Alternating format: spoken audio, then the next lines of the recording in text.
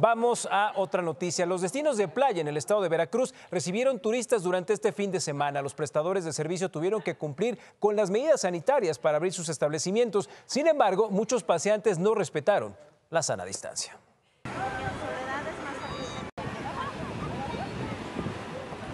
Así lucieron este fin de semana las playas del puerto de Veracruz, en donde no se respetó la sana distancia.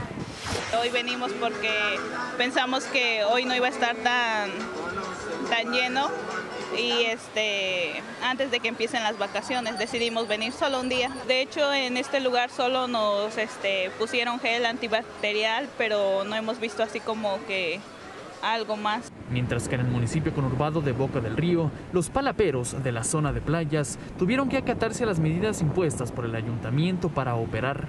Pues necesitamos la silla, la mesa, guardamos distancia, eh, le damos 5 metros a cada, a cada mesa y, este, y nada más aceptamos 5 sillitas por mesa para que no se acumule la gente también. El cubrebocas, está hay una distancia, si ves, entre las mesas que está este, amplia y pues todo el estado está igual.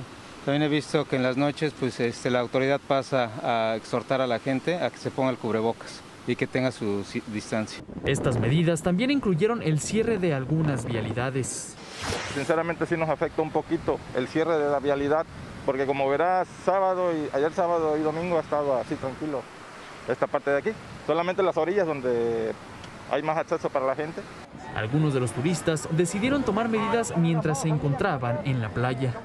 Nosotros traemos nuestro gel y este, nuestro cubrebocas, pero ahorita como estamos este, ingiriendo alimentos, pues no podemos este, tener el cubrebocas puesto. Pues que hay que protegerse. Y hace ocho días ya me vacuné.